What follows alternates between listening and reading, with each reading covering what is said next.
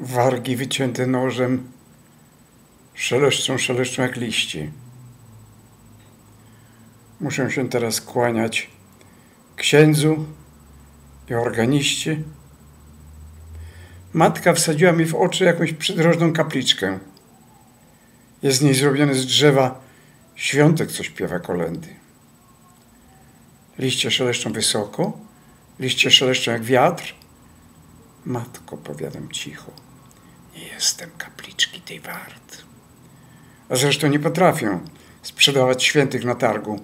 Konie się będą śmiały, więc po cóż mam ruszać wargą?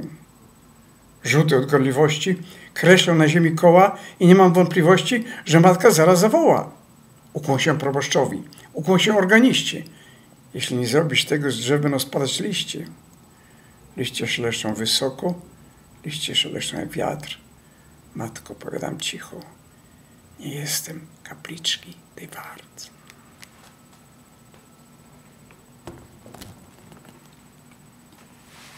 To nic, że dzień jest szary, z piorunem ukrytym w powietrzu, że przypiął swój oddech zimny szpilką do mojej koszuli.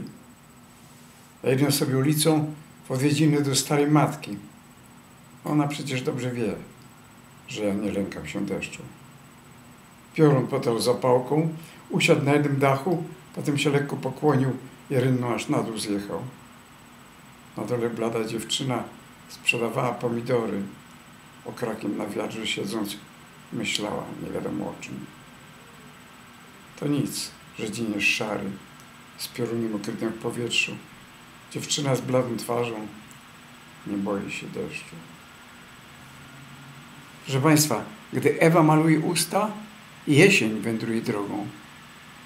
W oknach domów zapalają się głowy sąsiadów, a ja siedzę w kinie lub zjeżdżam po linii do ogrodu mojej przeszłości. Wczoraj kupiłem dzieciom kredki. Będą malowały deszcz. W Częstochowie biali mleczarze modlą się. Po linii szedł ksiądz, niosąc nogi nad ziemią.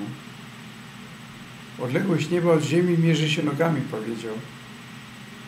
W Częstochowie biali mleczarze modlą się. Ksiądz skoczył na murawę. Lina nie była mu już potrzebna. Stał przed lustrem, przymierzając nowy kapelusz.